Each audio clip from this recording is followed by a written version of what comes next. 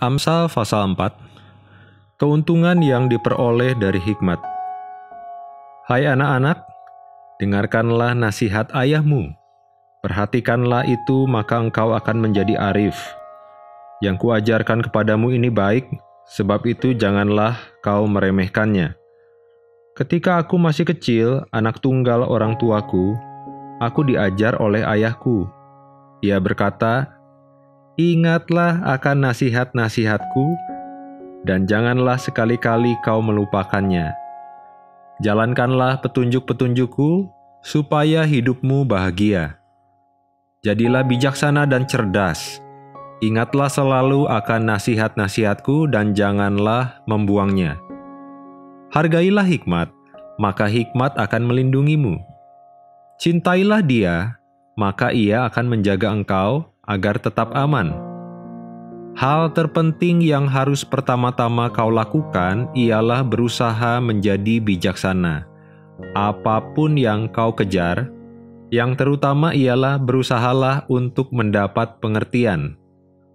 Junjunglah hikmat, maka engkau akan ditinggikan olehnya.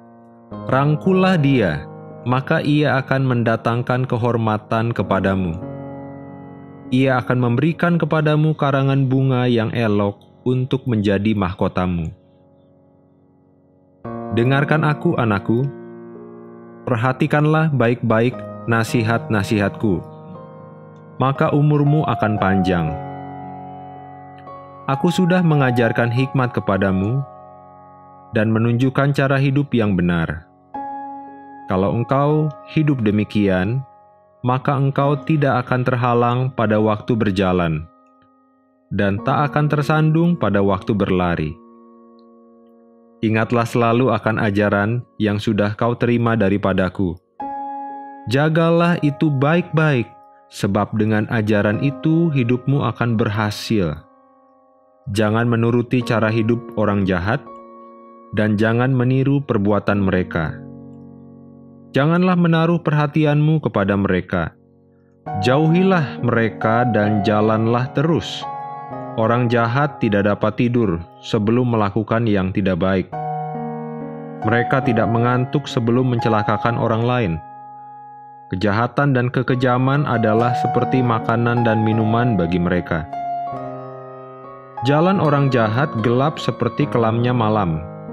Mereka tersandung dan jatuh tanpa mengetahuinya. Sebaliknya, jalan yang dilalui orang baik adalah seperti terbitnya matahari. Makin lama makin terang, sampai akhirnya menjadi terang benderang. Perhatikanlah kata-kataku, anakku. Dengarkanlah nasihat-nasihatku. Janganlah membuangnya, melainkan simpanlah selalu di dalam hatimu. Orang yang memahaminya akan hidup dan menjadi sehat. Jagalah hatimu baik-baik, sebab hatimu menentukan jalan hidupmu.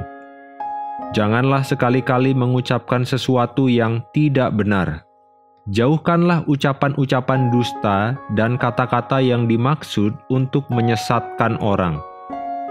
Hendaklah wajahmu memancarkan kejujuran hatimu. Tak perlu engkau berlaku seolah-olah ada udang di balik batu.